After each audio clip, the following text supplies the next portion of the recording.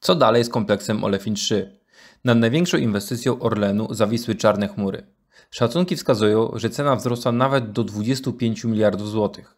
Ireneusz Fonfara, prezes Orlenu, mówi wprost, że inwestycja to pułapka na nowy zarząd. No, pułapka polega na tym, że nie umiano zdefiniować zakresu projektu, wielkości projektu, czasu realizacji, że zwiększono budżet trzykrotnie, tłumacząc to i wyjaśniając to kwestiami związanymi z wojną na Ukrainie. Jeśli spojrzymy do rocznika statystycznego, my wnikliwie do niego spojrzeliśmy, to wzrost cen materiałów inwestycyjnych w tym czasie plus 30%, a nie 300%. Zarząd Orlenu stoi przed dylematem. Są trzy możliwe drogi. Pierwsza to porzucenie inwestycji, która pochłonęła już 12 miliardów złotych, a to tylko początek kosztów. Koncern musiałby zapłacić kary umowne, a także posprzątać teren.